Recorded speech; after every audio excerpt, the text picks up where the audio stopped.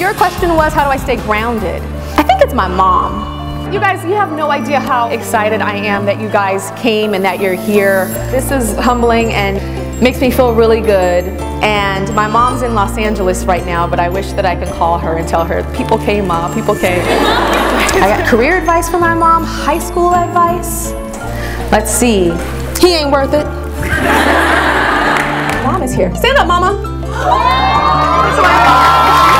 The human side of Modelland, where it came from, I think it starts with my 11 year old self. Over a summer, grew three inches, so then I became the freak, the weirdo. I became extremely insecure. In order to cover the world and um, retain some type of sanity, I had a book.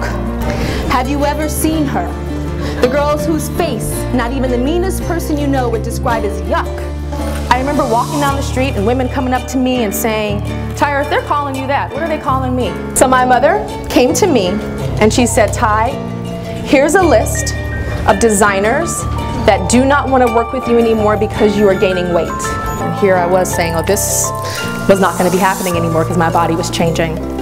So I started to cry. And then my mom said, so you, you know what we're going to do about this list and this issue? And I said, what? What are we going to do? And she said, we're to get some pizza. Let's go. One thing I say in Modelland, that the person that's trying to tear you down and make you feel bad, they don't feel good about themselves and they have to tear you down to make them feel better about themselves. I help young models um, become models because I feel like I want to give other girls that opportunity. And I encourage you to like start Modelland book clubs. Hit me up on Facebook. Hit me up on Modelland book Facebook. Hit me up on Tyra Banks. Ask me questions. I'm to try to answer as many as I can.